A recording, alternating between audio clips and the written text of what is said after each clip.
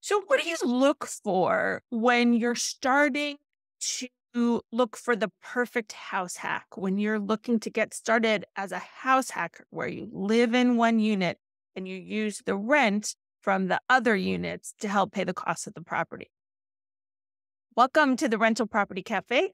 I'm Cynthia Meyer with Real Life Planning. And I'm Veronica Woods with Daniel Woods Real Estate. And we're here today in episode 16 to talk about how you evaluate a house hack. Veronica has brought some real life examples of properties she's looked at recently that we can use to discuss that. So, Veronica, you're a house hacker, right? Yes, I've been house hacking for about four years now. Yes, I bought a duplex where I live on the second floor and I have a tenant that's helping me pay my mortgage. So I practice what I preach. That I think that's excellent. And if I could go back and tell my 20 something self one thing, it would be to be a house hacker. And I wasn't. I was a renter who just paid somebody else's mortgage. so was I. So that's why I thought we thought it'd Mhm. be a good topic because it can be intimidating to find Mhm. the right deal that is a good fit for that purpose. So talking about it. Yeah. And so when we think about house hacking, a lot of times we think about, oh, this is for the first time home buyer who is looking to become both a homeowner and a landlord at the same time.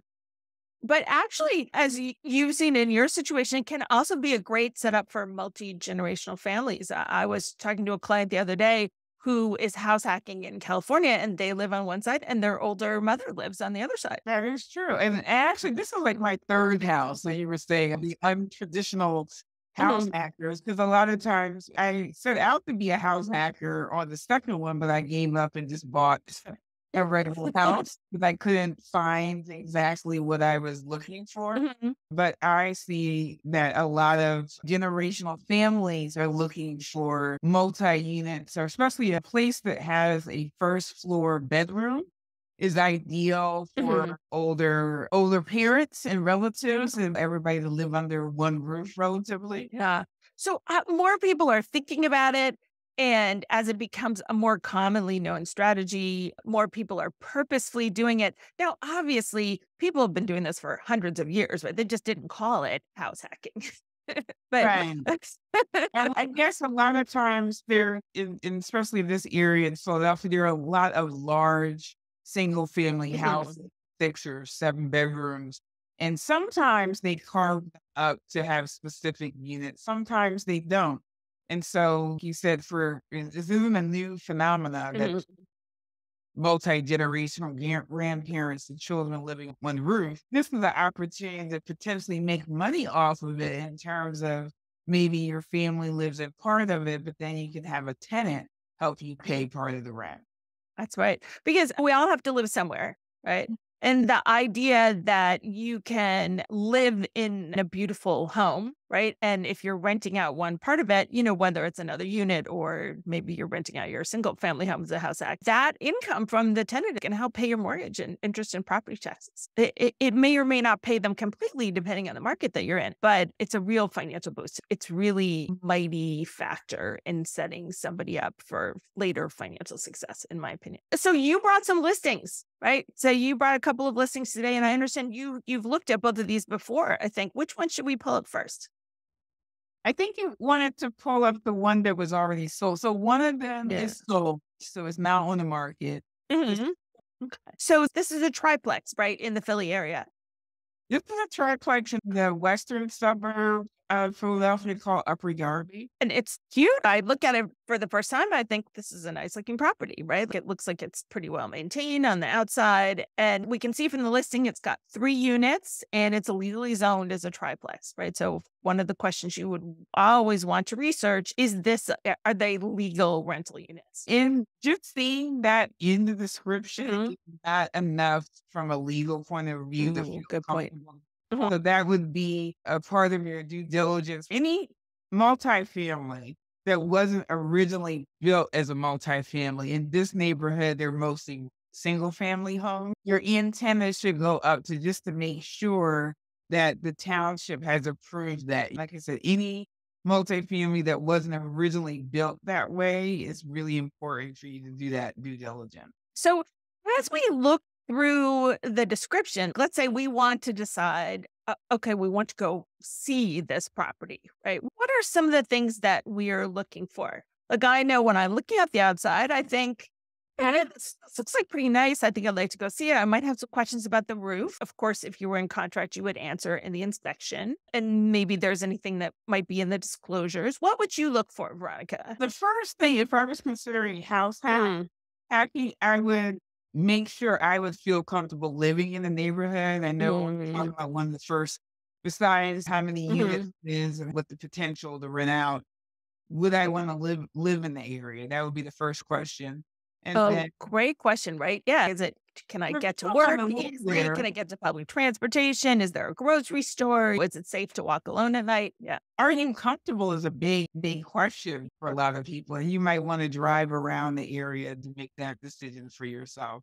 And then just assess from the MLS just a relative condition of the property. Is this like a complete renovation? Are there tenants in it now? Uh huh. Sure. Because if there's tenants, then I would want to look at the lease terms, or because if there's a law, any long term leases, then that would mean that would restrict how you would be able to take over as landlord. You would basically have to assume any long term leases. Short term leases in place, you could potentially say to the seller, hey, you need to deliver it vacant or I buy the property. And you might think about having it delivered vacant. Maybe if you were going to be making renovations, you want to make them all at once, right? Or if there's a unit that you wanted to move into that is currently tenant occupied. Right? Good point about the even the renovation. Mm-hmm. It's really hard to do renovations around the beginning property. The fixing a deferred maintenance is really tough. So if you uh, plan to do any major renovations, you need to budget the prop the yeah. making for a period. So it looks like just summing through these interior shots, it looks like it, eh, certainly one of the units has been nicely renovated. Maybe that was the owner's unit, who knows, of the seller. Did you go in this property, Veronica? Did you walk through it? I did. And actually, just another point of the pictures versus in real life could mm-hmm. be different. People put pictures up before when it was vacant, that's the best look of the property. Before the tenant got in there and hung their the pictures owner up. was actually yeah. still living in there when ah. I looked at you know, they had like a washer and dryer. You see the hookup. Yeah. In the living room. And there were definitely people in that unit on the second floor. Uh-huh. They put pictures while it was vacant online, but that's not what I right. Right. Right. So that's already something in real estate in general. You can't go purely by the pictures because mm-hmm. marketing point of view, the realtor is going to put best pictures forward. And you're thankful that you can see them out the furniture, but you can't go by the condition fully from the pictures. But you can kind of get an inkling like this, what we're looking at. This is pretty dated. Right. It's dated. Looks like the oven is old. Maybe we're going to have to replace that now or at some point. Right. Could use a fresh coat of paint. But those are all easy, relatively inexpensive things to change. I always think when I'm, when my husband Steve and I are looking for a new property, before we even go and look at them, I always look through all the pictures and I'm not necessarily going to let minor renovations get in the way of a good property, right? Like that stuff is not hard to do. It's the major structural work that if you find something structural in your review of the property or in the inspection where it might really give you pause. Would you agree with that? I do think it makes sense to look at the mm-hmm. photos before getting your car and driving yeah. to a listing or asking anyone to do that. The other thing I do, if there's a property that has mm-hmm. potential, mm-hmm. I'm calling the listing agent and say I have a client that's interested mm-hmm. in trying to get more mm-hmm. insight that they won't put in writing. So you guys mm. understand that there's some things they're just not going to put in writing. Sure. Don't want to document that, but I could get insight on the tenants or known repair that I should say in Pennsylvania and a number of states, the sellers are required to disclose detail about the property when they're putting it on the market most of the time they make that document available on the MLS. Sometimes they don't for whatever reason, but you can and you have to ask for it. Okay. So now I would do with pictures and then I would ask for the seller's disclosure if it's available. And then those mechanical issues that you alluded to that you, you can't really see from pictures, you can get a sense of like how much repairs are really required for the property. So I think that's an excellent point. Just looking at this picture here, right? I see that units are looks like units are separately metered. And you'd have to tell me, Veronica, is this like two gas and two electric or four separate meters for the gas or the electric? I think it's really interesting that the seller posted them, first of all, very helpful. Because buying a house hack, right? You want to know are your tenants going to be able to pay their own utility bills? Right. These are Mhm. that's an electric meter. That's electric so meter. it's separate. So there might be a house meter and three separate Three separate individual units. Yeah. That is something that I try to look for in the pictures, Mhm. separate meters. Are you, or in the basement, are you seeing separate hot water tanks? And Right. I think we saw some separate ones. Yeah. It's so So we have those this. are things that you would try to find out. Yeah. Or you, I would ask the question if it's not clear. So they're showing two or the third And one. this third one. Yeah. Yeah. Like, if you would try to find out in advance. Mhm. And, and I will say, I don't always see these kinds of pictures. Do you? Where somebody is taking pictures of the utilities and putting them in listing. It's very helpful, actually, to be able to see that. That's my practice because Mm. people have that question. So Yeah. again, the realtor is trying to market the unit. and There are Mhm. examples where it's just like one picture, and then that Mhm. leaves a lot to be desired. But the more information that you can provide without people having to drive leave their house, The better. Yeah. So this, I think this is really interesting. And this looks like it's a basement unit. Maybe this is the, is this the studio? Because not a lot of Uh, yeah. windows here. Ah. Yeah. So that's so seeing that picture, and even like they did mention that it's legally zoned. Yeah. They that point because they know that would be a question. Yeah. The layout and the other houses on that street, Uh-huh. that's a basement for those properties, but it did have an exterior. And Oh, it did. So it had egress. Yeah. yeah. Okay. Because I would look at this and you may have had the same thought, think, "Mm, you can't, you're not going to get good rent for this bottom unit without a window. And I'm sure that the window issue that is hard to see from the pictures. And actually, that was the one I had trouble getting into on the inside, but I did see the door. And one question I generally should ask, like rentability. Mhm. So just because it's multiple, Oh, there's a units, little sometimes Yeah. there's one unit that may Yeah. kind of let's call it suboptimal in terms of, you know, would this attract a person who wants to stay there long term or a transient type tenant? So that's just something to think about. If you Mhm. evaluate this, even though it's three units, if you have a two unit that would be more long term tenant, Mhm. less turnover, you kind of have to evaluate the trade offs of just having an extra unit, but maybe you attract a more transient tenant versus property where all the units are, you know, great layout and where people will But- probably there Mhm. for multiple years. Yeah, I think that's an excellent point. So, what else would we? What else would you want to look at in? Uh, oh, we're back to the beginning here. Anything else that we look at in the listing before we started to run the numbers for a particular property? I think there's probably enough to get on the location and for this property, you're saying, okay, it may need some repairs, but everything is pretty much Mhm. cosmetic. That's probably enough for me to say, okay, I want to get in my car, look at it in person, and look at it. Yeah. more assumptions. Yeah. And uh, now, one of the things that I know we would both do is to figure out what is the market rent for similar units. So, in this property, there are three units, assuming that everything is legally zoned, again, which Veronica says we've got to trust but verify, right? So, we've got a one bed, two one bedroom, one bath, and then the studio, right? So, you would, for example, take the address and go to Rentometer and put in one bedroom, one bath and see what is the median or average rent in the geographic area for a unit like that. Maybe even if you can, try and look, go to Zillow or something and look, or apartments.com and look at other listings in the area to see what you're in competition with. What else would you do? I think run a quick number. So Mm-hmm. besides looking at the rent by itself, do a quick math with okay, my mortgage payment is based on what their asking price is. Mhm. A lot of times people get caught up with, oh, they're asking 265. I need to run the numbers at 265. You may be able to get a discount. Figure out what the monthly debt service would be and then run a quick cash flow to see if you Mhm. have any chance of being positive with the current rents.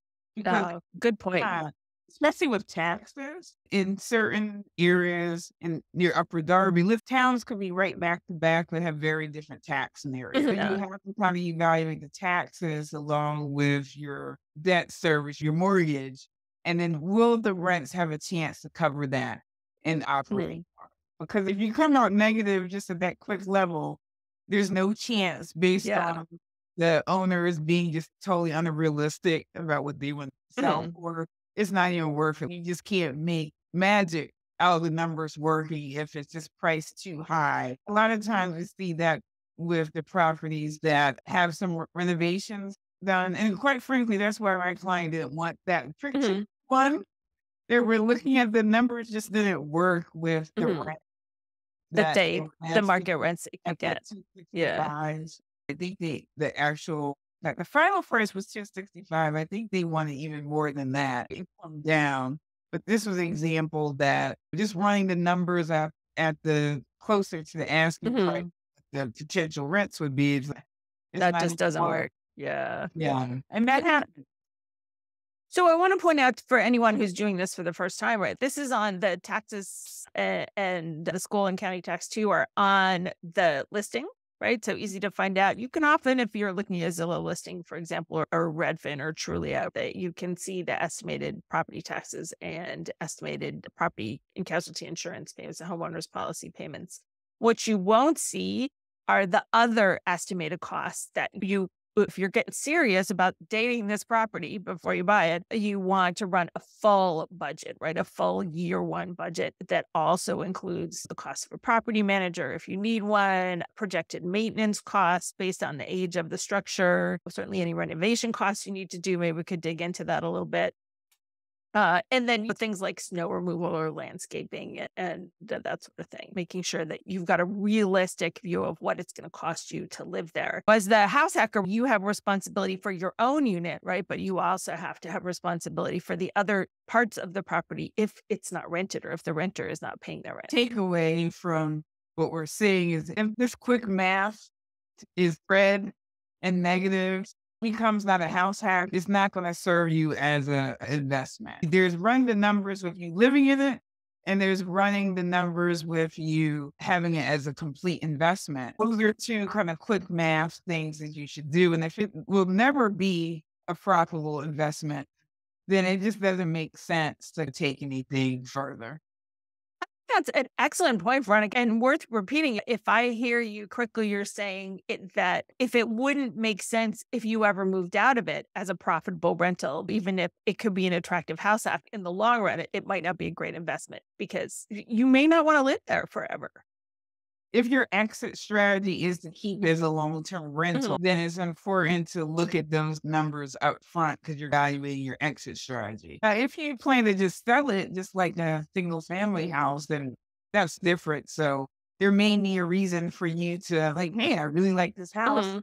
because it'll never be a profitable investment. It's still offsetting some of my costs. So I'm going to live here for a while and then just Mhm. sell it. But that's not really fully uh, house hackers mentality. I know you recently looked at another property. Should we pull that one up on the screen and talk a little bit about how it's different and some potential renovation questions?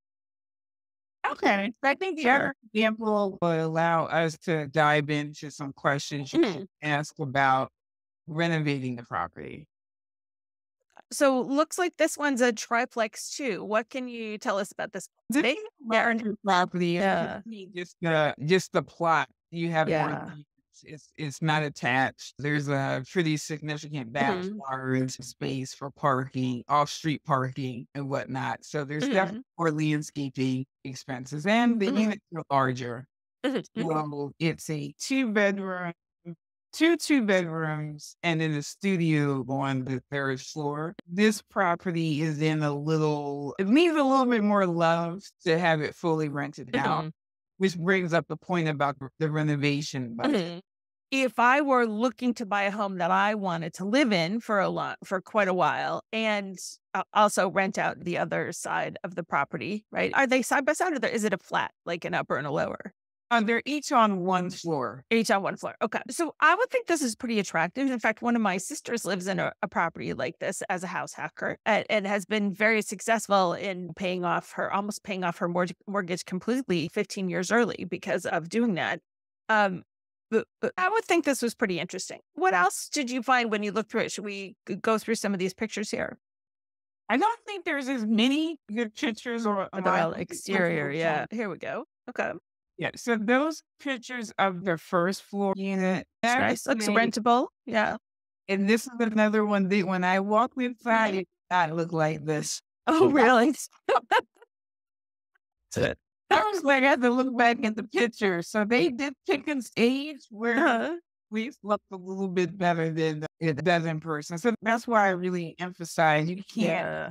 The pictures. Yeah, you No, shouldn't just buy a house on the internet, right? You somebody to go in. Yeah. Verify because this is just marketing. So I just find a few holes in the wall, let's say. Uh-huh. So it needs a little love. That's Yeah. that is strange. What is that? Yeah. Yeah. kind of have a little odd layout. This was a building that wasn't literally one of these older buildings, Uh-huh. really a triplex. But Yeah. they did a good job of cutting it up into three units. I Uh, don't think. But I Oh, so this one's a triplex, not a duplex. I, I Yeah, that's right. You said, yeah. Okay. Obviously, this is probably more than just a cleanup, right? That's a maybe some regrouting here. This tub, but again, not super expensive Yeah. to do. honestly, most of the stuff was cosmetic when you're evaluating yeah. house hack. And I'll use my Mm-hmm. example, it's not on the screen. So when I looked at the property, both units were occupied. In that case, I picked the one, I evaluated the tenants and said, okay, I feel comfortable living in this one. And I already had cash flow from the first floor unit. Situation like this, you're evaluating, okay, I'm pretty much starting from scratch. Okay, so what's my timeline to have this rent ready in? Allow me to live in. it? Mhm. Well, just evaluating the timeline will be important in terms of when you could actually start collecting rent and make it an investment versus just doing the renovation. That Right.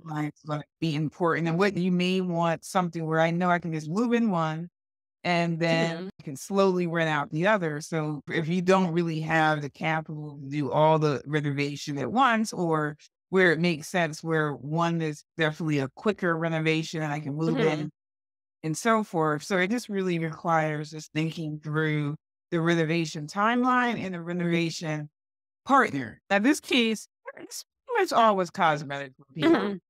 Um, and a lot of my clients are not necessarily chasing a hundred thousand dollar renovation budget on a house hack typically. Mhm.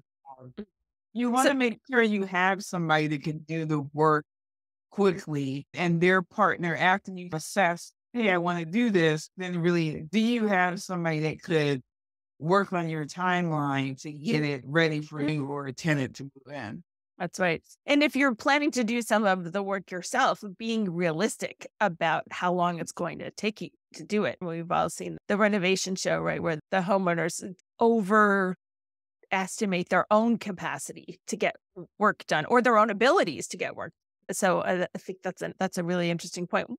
With this particular property, what other questions did you ask yourself as you were walking through it? think in terms of the renovation budget, just speaking on being conservative, even if you're saying, oh, I'll do some of this myself and I'll just pay for the others, the rest of it, making sure you really account for what you do see, Mhm. what you can't see, like when you open a wall or really look Mhm. behind something that maybe you only had a cursory look at when you were at your home inspection and really have a contingency. Everybody should have a contingency Yes. percent in the budget. You don't want to just have optimistic budget just to make you feel good to get your mortgage, and then the reality you know, if you're like 10,000 short, like where is it going to come from? Mhm. really want to be prepared that if there's like a $10,000 surprise that you aren't. You have liquidity for that, right? You have some cash available or some borrowing available from that. So interestingly, it's that that brings up the idea of talking to your lender, right? Are you going to be able to borrow enough to to buy the property and complete the renovations if you need to borrow for the renovations? And so there are certain types of loan programs to do that. How would you bring this to a lender? Like how would you initiate that conversation? Early. I'm the biggest mistake I see people making is not being upfront with their lender about what they're trying mm-hmm. to do. They're really so stuck on the acquisition budget. And I find that I need to almost sometimes intervene and make sure that conversation happens. Did you tell them about the renovation budget? Oh no. I'm like, he needs to know that because let's say it's some sort of commercial loan where they're loading against the after repair value say was it usually 75% of after repair value or 80% Mhm. cost.